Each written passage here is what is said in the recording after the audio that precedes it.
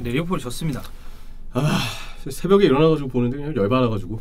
그래서 박스가 셔츠를 입고 왔나요? 네, 이 여기. 존나 더워 보이는데? 응? 아 이거 되게 시원해요. 생각보다 얇아. 아 그래요? 응. 음. 딱 지금 계절에 입기 좋은 옷이에요. 아 약간 간절기. 예, 예, 예. 아 간절기라 그러나? 그쵸 간절기라고 음, 하죠. 왜냐면 어. 지금이 약간 아 그러니까 뭐 시기상으로는 4월이 봄이긴 한데 이제 추워졌다가 근데 엄청 추운 것도 아니고 또 엄청 더운 것도 아니고. 아니고. 응. 엄밀히 따지면 시기상으로 간절기는 아닌데 우리가 체감하기는 음. 조금 날씨가 이제 변하는 느낌이 그쵸. 일교차도 심하고 예, 아, 그런 간절기 게 진짜 좀 좋은 표현 같아요. 간절기 응. 좋죠. 그러니까 예. 나의 모르는 개념이었는데. 한자로 이제 사이 간자를 써서. 사이 간자? 예. 음.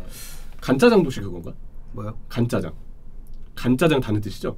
그거는 아니겠지. 아니겠지? 네, 아니겠지? 나 갑자기 궁금증이 간짜장이. 한자냐? 그러면 간짜장 한자 아니에요? 아니지. 짜장 그냥 우리나라 말이에요. 아, 아 그럴 수도 있겠네. 사실 확실하지 않습니다. 아, 예, 예. 예, 예. 뭐 이런 어려운 개념은 그냥 넘어가고 네, 네, 네, 네. 예, 저희 이제 축구 예능 채널입니다. 네. 아무튼 아, 비니시우스가 이날 아, 회사 대표님인가요? 네? 회사 대표님인가요?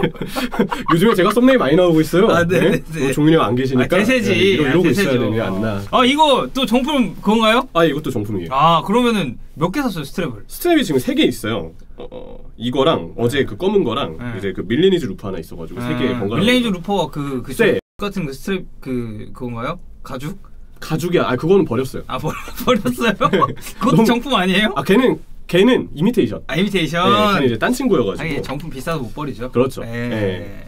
예. 아무튼 네. 아, 레알 마드리드가 일단 3대 1로 이겼죠. 음. 어, 리버풀이 생각보다 힘을 너무 못 썼어요. 음. 전반전에 슈팅도 없었고 아예 레알 마드리드가 흐름을 좀 지배하다시피 했었는데 그러니까 저는 음. 어, 제 이제 맨시티 돌문을 봤습니다. 맨시티 돌문을 봤는데 옆에 같이 띄워놨거든요. 네. 이게 창을 띄워서 이렇게 그렇죠. 있잖아요. 어. 음소거 해놓고 했는데 아니, 잠깐 잠깐 봐도 너무 무기력하게 무너지는 모습이 좀 보이더라고. 그거 이제 풀타임 동안 보면 얼마나 기분이 더럽겠어요. 음. 근데 레알 마드리드 입장에서는 어, 어, 우리가 역시 챔스 DNA가 있는 팀이다. 그리고 예상 외의 선수가 잘했기 때문에 아 그렇죠. 좀 놀랄만한 일이 아닌가 싶거든요. 네. 일단 경기 전의 분위기를 먼저 살펴보겠습니다. 일단 바라니 코로나 확진 판정을 경기 직전에 기사가 났어요. 맞아요, 맞아요. 그러면서 바라니 코로나, 라모스는 부상. 음. 그래서 나초와 밀리탕의 센터백 조합이 나올 수밖에 없었는데 음. 이 조합은 누구나 우려를 가질 수밖에 없었습니다. 네. 근데 거기다 이제 공격진도 벤제마를 제외하면 의문부호가 남을 수밖에 없었어요. 비니시우스는 이 벤제마가 말했던 부분, 이 비니시우스한테 공 주지 마라고 아 얘기했던 그거 가지고 좀 논란이 예, 있었죠. 논란도 있었죠. 예. 근데 그 얘기에 이제 착안을 해서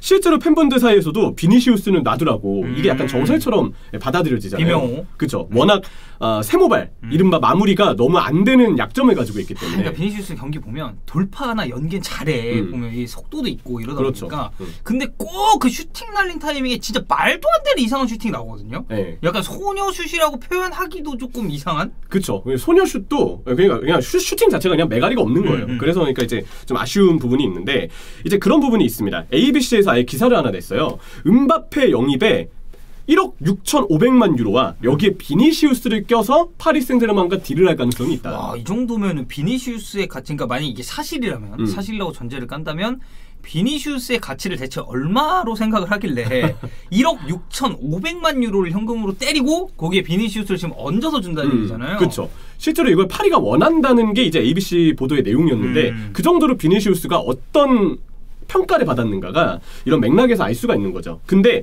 뚜껑을 열어보니까 비니시우스는 멀티골을 넣었고요. 네. 폼이 안 좋다고 했던 아센시오도 한 골을 넣었습니다. 네, 물론 이제 뭐 아놀드의 그런 실수로부터 비롯했지만 음. 그래도 아센시오도 득점을 했으니까 네. 특히나 비니시우스가 멀티골을 마지막으로 넣었던 건 948일 전이거든요. 이거는 레알 마드리드 1군에서는 멀티골이 없죠. 네, 이게 카스티아 소속. 음. 그래서 그 당시 이 알레티 B 팀을 상대로 카스티아 소속으로 당시 멀티골을 넣었던 게 본인 커리어의 마지막 두 골이었는데 네. 드디어 멀티골을 948일 만에 넣게 됐고요. 이날 비니시우스가 리버풀전 슈팅 4번. 음. 기대 득점이 근데 0.46인데 0.46 상황에서 2득점을 했어요. 그러니까 이 기대 득점이 낮은데 득점이 높다는 얘기는 결국 이거는 비니시우스가 어떻게 보면 조금 만들어냈다고 음. 해도 과언이 아닌 골이죠. 그렇죠. 네. 어려운 기회였는데 확률이 떨어짐에도 비니시우스가 골을 그렇죠. 넣었다. 네. 이렇게 표현할 수가 있겠고 아센시오는 기대 득점 1.46의 한 골이었어요. 음. 비니시우스와 비교했을 때 우리 아센시오는 찾아온 기회를 놓쳤지만 유력한 하나를 넣었다. 그렇죠. 네, 그렇게 좀 봐야 될 차이가 있습니다. 네. 그래서 원래 이런 친구가 아닌데 비니시우스가 차이를 만들 었기 때문에 이 경기 끝나고 비늘신이라는 평가를 음. 단연코 받아 마땅한 상황이 됐죠.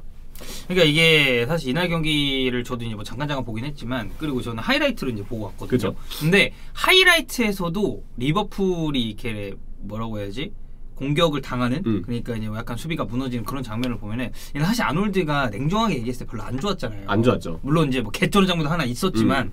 근데 어, 이 형철이가 항상 칭찬했었던 이 필립스 근데 그 친구가 경험이 많은 친구는 아닙니다 음. 사실 냉정하게 얘기했을 때 발도 느려요. 예. 예. 그, 그러니까 항상 그 단점으로 음. 발이 느리다는 걸 지적을 형철이가 했었었고 이 아놀드랑 필립스 사이에 공간이 벌어진 걸 얘네가 좀 기가 막히게 활용을 네. 하더라고. 그쵸. 그게 딱 비니시우스한테는 좋은 먹잇감이 된 거죠. 음. 다른 날 대비 비니시우스가 활약을 할 수 있었던 건 아놀드와 필립스 사이의 이 공간이 기본적으로 리버풀한테 계속 약점입니다. 네. 어, 최근에 아놀드가 일단 뒷공간을 내주는 빈도는 아놀드의 이 선수 커리어에서 늘 있었던 일이었고 음. 여기에 더해서 그런 리스크는 안고 했으니까. 그렇죠. 아놀드의 옆에서는 필립스도 느린 발의 약점이 있잖아요. 음. 그리고 이날 선발로 나왔던 오른쪽 중앙 미드필드 자리의 케이타가 음. 솔직히 수비 위치를 잘 잡는 스타일이 아니에요. 음. 케이타는 항상 이 자리에 나왔을 때 수비 커버를 잘 못 들어간다는 걸 단점으로 지적받았기 때문에 네. 오른쪽 밸런스가 리버풀은 무너져 있던 거죠. 그래서 레알 마드리드는 이런 약점을 파고들어서 비니시우스한테 그 공간을 활용할 것을 지시했고 음.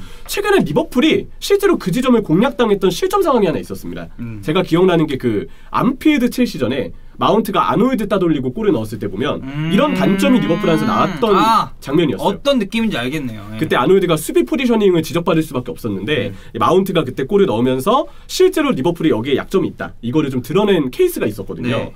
그래서 이 비니시우스도 올 시즌 이 경기들을 보면 리버풀전 이외에 터진 경기가 하나 또 있었죠.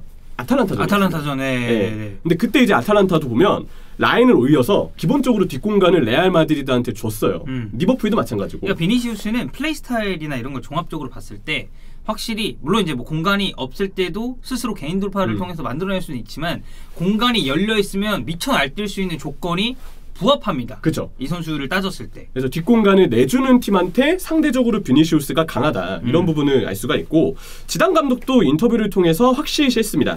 아, 리버풀의 풀백들이 앞으로 많이 전진했기 때문에 우리와 비니시우스한테 잘 맞았다. 음. 이게 지단의 인터뷰를 통해서도 확인할 수 있었고요. 네. 근데 뭐 이 이외의 활약 비결을 굳이 뭐 추측을 해보자면 집 나간 아누, 아, 아자르의 영혼이 비니시우스한테 빙의한 거 아니냐 뭐 이런 이제 얘기들까지도 레알 팬덤 사이에서는 좀 볼 수가 있었습니다. 당연 당신 생각 아닌가요? 제 생각 아닙니다. 예, 저는 아자르에 대해서 함부로 평가를 하고 싶지 않은데 네. 레알 마드리드 팬분들 사이에서는 이제 그런 농담거리가 있더라고요. 그 이제 사실 그렇죠. 이제 어 뭐 저도 사실 프리미어리그에서는 이제 첼시 좀 좋아하는 편이다 보니까 아, 아자르는 첼시 입장에서 사실 신성 불가침입니다. 네. 예, 이 선수가 한 게 있고 보여준 퍼포먼스 자체는 진짜 저, 전 너무 좋아하는 선수였고 저도 솔직히 되게 좋아해요. 근데 음. 이거를 레알 마드리드 팬들로 한정을 했을 때는 이건 존나 욕해야 됩니다. 그럼요. 진짜로. 음. 왜냐면 첼시 때 아자르와 레알에서의 아자르는 우리가 항상 뭐 농담으로 뭐 2등 해줬다 이런 얘기를 하는 게 농담이 아니에요 사실. 음. 그만큼 이제 경기력이 안 좋다는 얘기고. 예.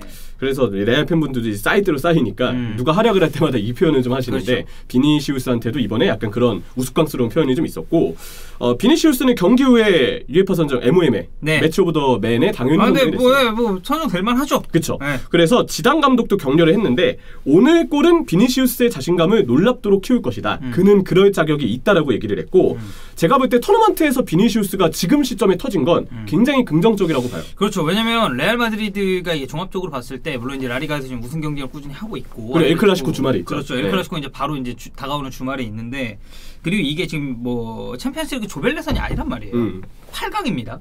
여기서 한 단계 더 올라가면 준결승이고 한 번 더 올라가면 결승이에요. 그리고 레알 마드리드가 지금 종합적으로 봤을 때 전력 누수가 없는 팀이 아닙니다. 그렇죠. 근데 여기서 공격진이 그것도 어, 앞서서 좀 부진하다고 평가받았었던 친구들이 살아나 준다면 타이밍이 너무 좋다는 얘기죠 이거는. 그렇죠. 네. 그래서 지단이 지금 아자르도 어쨌든 그룹 훈련을 복귀했다는 얘기는 있더라고요. 음. 근데 아, 그래서 이날 뭐 나온이 많이 막 네. 얘기도 있었어요. 무리는 시키지 않은 거죠. 음. 근데 만약에 토너먼트에서 아자르를 다시 쓰는 건 그동안의 아자르의 레알 커리어를 봤을 때 좋은 일은 아닌 것 같고 리스크가 크죠. 오히려 네. 비니시우스가 터졌기 때문에 아자르에 대한 생각을 조금 접을 수가 네. 있겠죠. 그리고 그래야 되죠. 음. 어, 지단이 다시 아자르를 굳이 위험수를 두고서 기용하지 않는다면 비니시우스에게 계속 무언가 자리를 줄 수밖에 없는데 네. 이 시점에 비니시우스가 터진 건 어, 챔피언스리그 레이스만 따져봐도 아주 긍정적인 일입니다. 아 그리고 어, 저는 이날 이제 골 장면도 이제 보면서 느꼈던 거는 토니 크로스는 진짜 미친 아. 놈입니다.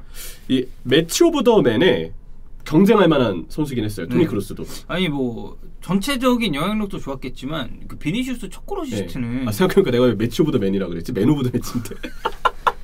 우리 회사가 또 더 매치라는 굿즈를 낸 적이 있습니다. 아, 내가 생- 아, 아까도 그랬던 것 같은데. 네, 그런 건좀 어. 확실하게 해주세요. 아, 그러네요. 네. 네. 아, 제가 원래 역으로 얘기하는 거 좋아합니다. 네. 네. 뭐 예를 들면 뭐가 있죠? 역던 역던왕. 어, 연덕왕이나 죄송합니다. 역던왕이에요. 역던왕. 연 연덕화경. 약간 이 연덕황. 새끼 이거 대놓고 매기는 거 아니 아니에요? 아니 아니 아니. 역 네. 역던황으로 하겠습니다 그냥. 역던왕. 예. 황던역. 네, 당신 거꾸로 하면 뭐죠 그러면? 어 그러면 혈 철철임인가? 아, 아니지 아니지. 잠깐만 철형 임이구나. 네. 아니 이 새끼인가요? 네. 아, 역던황이 알겠습니다. 네. 네. 어쨌든 네, 토니 크로스. 네. 그래서 토니 크로스도 이 man of the match에 경쟁할 만한 자원이었는데 amazing 에, 비니시우스가 이 표현을 했더라고요. 토니 크로스는 amazing하다, 음. 레전드다. 음. 그리고 그와 같은 선수는 또 없다. 아 그렇죠. 네, 진짜 토니 크로스한테 붙일 수 있는 대명사는 다 붙인 느낌이었는데 네, 여기 지금 stat이 쭉 나오고 있지만 음. key pass만 4 번이고 제일 놀라운 건 롱패스를 9번 시도했는데 다 성공했습니다. 그리고 터치도 이날 경기 통틀어서 86번으로 가장 많은 터치를 가져갔는데 음. 경기 영향력이 진짜 대단했다는 걸 알 수 있죠. 제가 이제 예전에 레알 마드리드 경기 중계하다가 아 교수님 도대체 휴강은 언젠가요? 음. 라고 이제 드립을 쳤었는데 이건 사실상 아, 휴강도 없고 어, 왠지 느낌상 당분간 종강도 없을 것 같습니다. 아, 네. 그냥 계속 계절 학기까지 아마 들지 네, 않을까. 왜냐면 그렇죠. 유로도 있으니까. 이제 막 그 대학생들은 이제 막 학기가 시작을 했잖아요. 음. 아직 대학생이니까. 이제 중간고사 시즌이죠. 네, 그렇죠. 음. 이제 중간고사가 다가오는 시즌인데 어, 지금 교수님의 강의가 좀 날이 갈수록 좀 물이 오르는 듯한 그런 느낌이고 네. 어, 어쨌든 레알 마드리드가 이겼고 여기서 주역이 비니시우스가 됐다는 거에 어, 저희가 뭐 앞서 언급을 했듯이 상당히 이제 큰 긍정적인 의미를 부여할 수가 있을 것 같습니다.